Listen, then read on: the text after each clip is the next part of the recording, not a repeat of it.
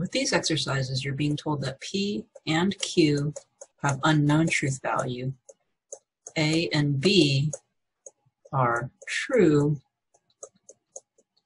and C and D are false.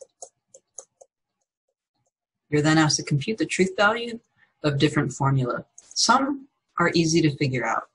For example, this formula, C and P, given that C is false, even though we don't know the truth value of P, we know that the compound here will be false. After all, a conjunction is false whenever either one of its conjuncts is false. It gets a little bit more interesting when we have a sentence like this. We don't know whether P is true or false, so it may appear that we can't figure this out, but actually we can. It just takes a little bit of hypothetical thinking.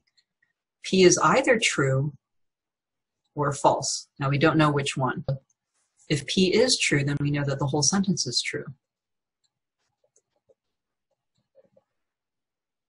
After all, disjunctions are true whenever either of the disjuncts is true, and here the left disjunct is true.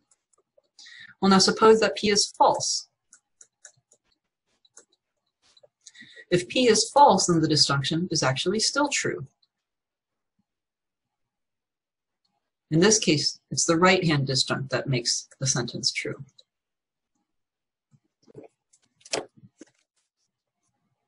So then what about this one?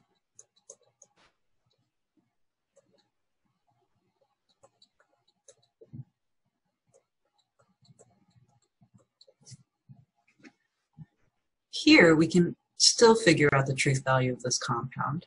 We're out of luck with the antecedent. If P is true, then the antecedent is true. If P is false, then the antecedent is false. So that's going to remain unknown. But what about the consequent? Q is either true or false, and we don't know which one. If Q is true, the consequent ends up being true also.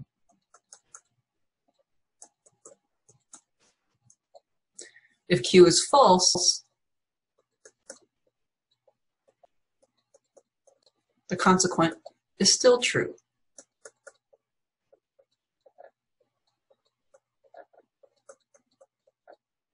And with conditionals,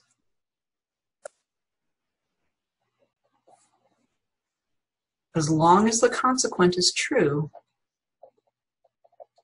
then the entire conditional is true. There's one more thing to notice about this sentence. If you take a look at this embedded sentence, notice that it's a contradiction. We know that contradictions are false no matter what, meaning whatever goes inside of them, if it's a contradiction, it will always, always be false. We're also saying that we're negating this contradiction. The negation of a contradiction is, in fact, a tautology. It's always true. Thus, what we've got here is something, then a tautology. And that will always be true.